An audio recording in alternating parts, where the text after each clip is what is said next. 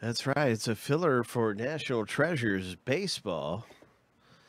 Good luck, everybody. Let's find out what happens in this thing.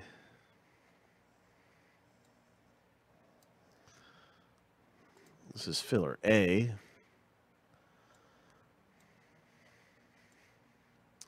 Seven times through, you want to be in the top 10 and you'll get a spot in this National Treasures break.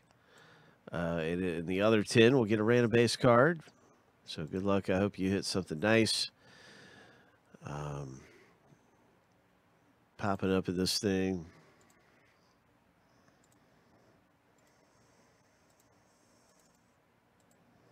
Seven times through.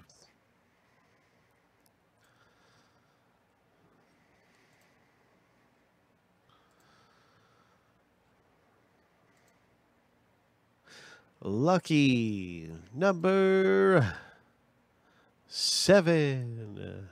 All right. So there's our 10 right there. Congratulations, you guys who ended up in the top 10 and scored a spot for dirt cheap in National Treasure Baseball. Our box break coming up. There's not many spots left in 505.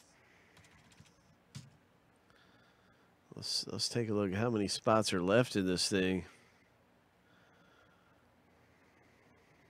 So that was filler A. And here's the actual box break. There's still a few spots left. 14 left is where we're at right now. So it is coming up, you guys. Good luck in the break.